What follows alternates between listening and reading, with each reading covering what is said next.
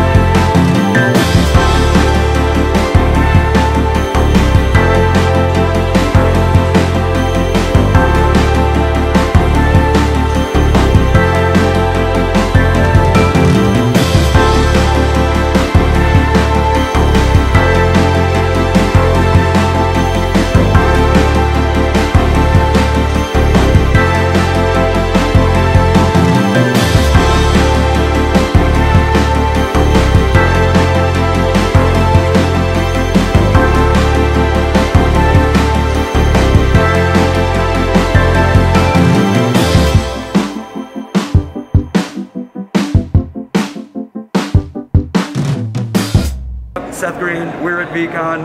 I'm feeling pretty positive about this experience. This is an excellent group of fans. I feel like this community is in the midst of proving its viability in intellectual property. Have fun.